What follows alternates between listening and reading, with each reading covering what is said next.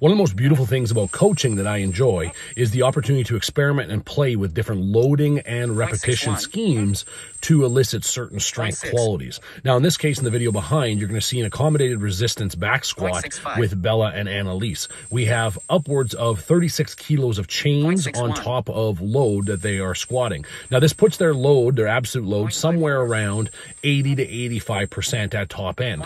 Now, this puts us inside of a repetition model of training compared to, say, maximal effort or dynamic effort. So, in the repetition model, this is primarily used for hypertrophy training. Now, originally, when I programmed this, I intended it to be much faster and much more focused towards strength speed. In the case of actually tracking the bar velocities, we find that the peak velocity is 0.66 meters per second and a the slowest of 0.54 meters per second, which honestly misses the mark. Six. Now I have to go back to the drawing board and reanalyze the repetitions, the sets, and loading parameters of this aspect of training to get a different response, which was the response I was looking for.